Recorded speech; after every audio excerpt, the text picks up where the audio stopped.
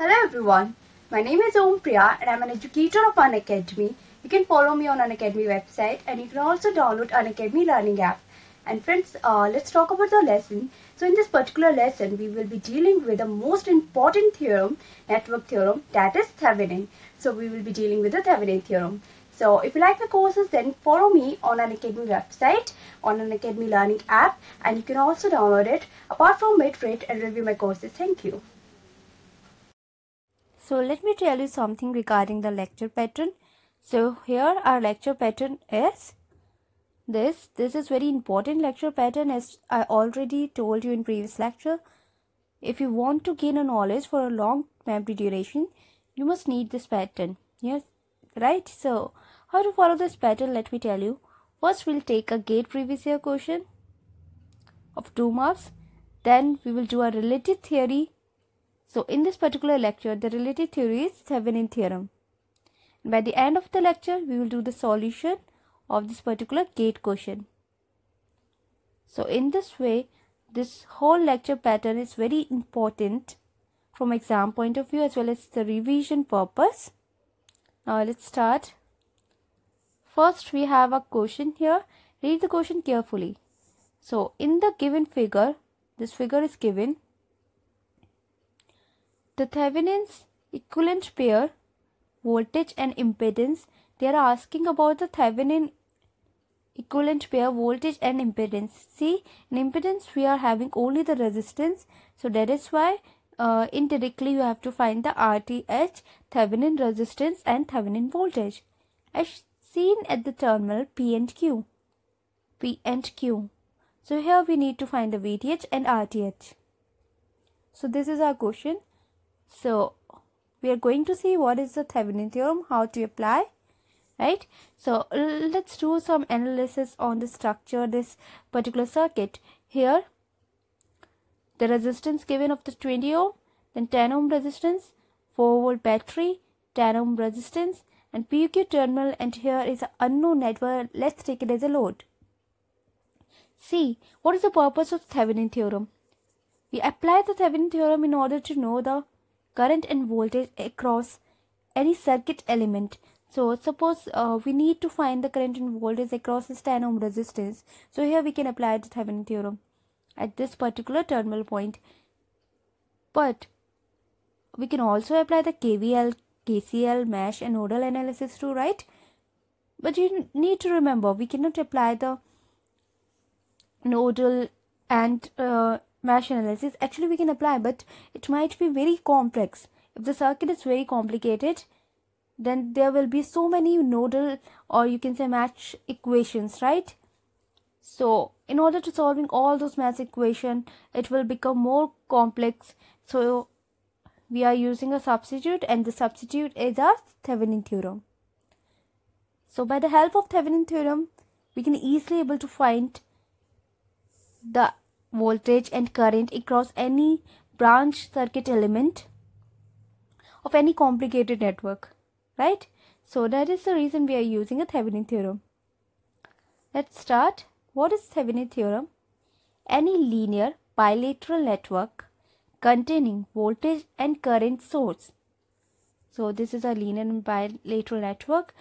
This network contains some voltage source some current source so it can be replaced by a single equivalent voltage source so whatever this bilateral network containing voltage and current source let us do one thing just replace whole this network with the help of equivalent voltage source VTH in series with the one equivalent resistance across its terminal.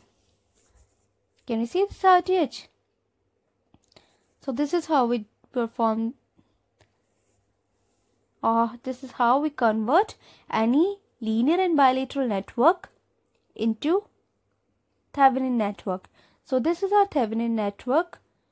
These are PQ terminal and this is our load. So indirectly I am saying this circuit is linear and bilateral so I am converting this circuit into a VTH in series with RTH.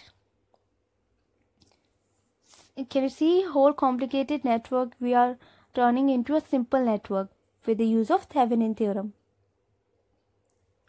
Now how to find this VTH? This is known as a Thevenin voltage. The equivalent VTH is a voltage obtained at a terminal P and Q of the network with the PQ open circuited. If you find a VTH, you need to do just open circuit it. So this was our lecture circuit if you remember. This was our question. Now we are converting into a VTH. So I'm opening this point, open circuited PQ. This network is open right now in order to find a VTH. So whatever the voltage across these point or you can say whatever the voltage across 10 ohm that will be the voltage between P and Q right? And here we can easily able to find the VTH so if you want to find a VTH here you must need to know what is the voltage across the 10 ohm resistance. So we will see how to actually find the VTH so main purpose you should know that in order to find a VTH across any terminal you must need to open circuit it. Then what about the Thevenin resistance? The equivalent resistance RTH is a resistance that a circuit between the terminal P and Q would have if all the voltage sources if any voltage sources are in the circuit here we have voltage source. In the circuit are replaced by short circuit. So this voltage source I'm short circuiting it.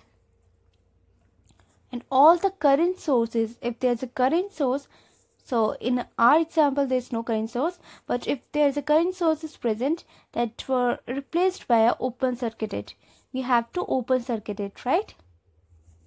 So in order to find a RTH what I'm doing here across the PQ terminal I'm just short circuiting the voltage source and open circuiting the current source and other elements remain as it is. Now you can easily able to find the RTH total equivalent resistance. So we will see in a solution how to actually find it. So here we have a solution. For calculating RTH, voltage source should be short circuited, right? now you want to find RTH can you see that 10 ohm and 10 ohm are in parallel right so you'll get here 5 ohm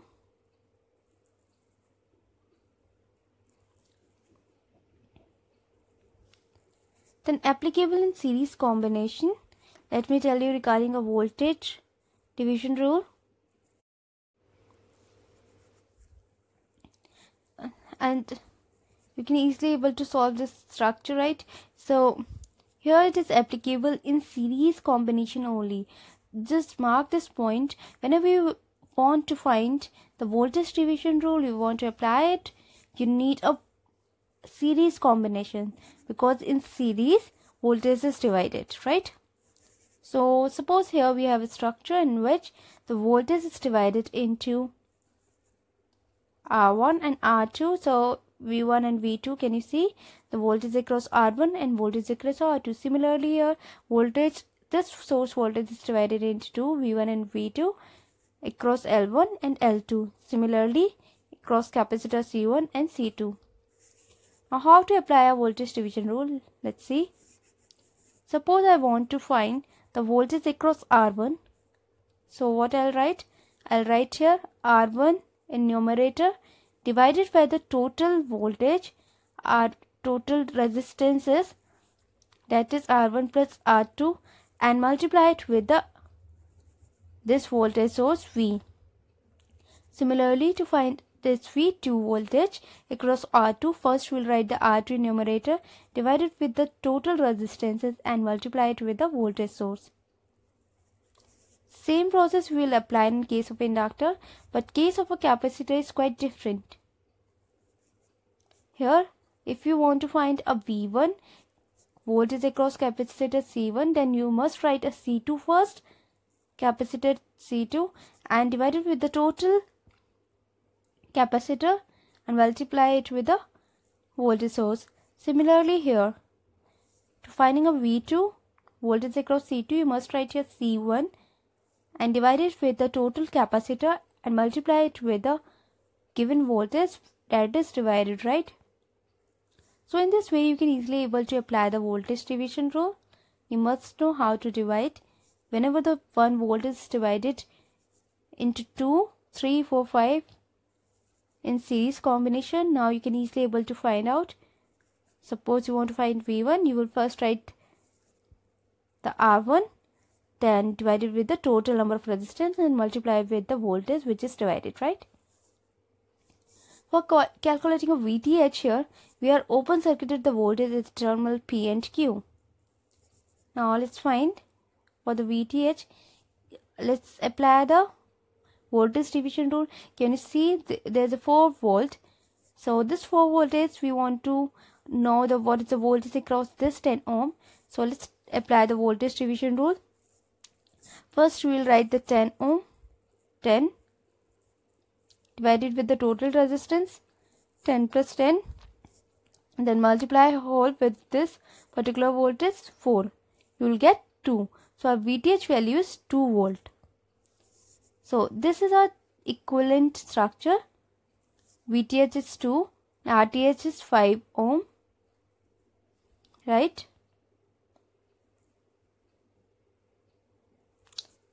so let's see our correct answer is VTH 2 and RTH 5 ohm. So friends, uh,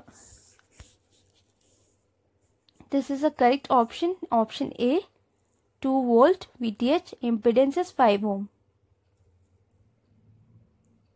Now here in this particular point, I am writing here RTH 10 ohm is parallel to 10 ohm. I hope you get this point because if you want to find a resistance there what happened this particular 10 ohm and this point so i hope you're not confusing with the structure right?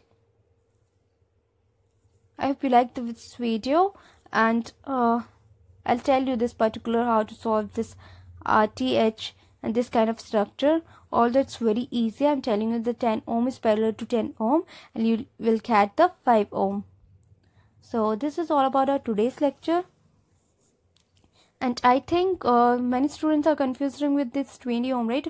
So i'll tell you uh, because we have a time sh shortage so i'll tell you in some other lecture. And you can also comment me i'll tell you there right? Thank you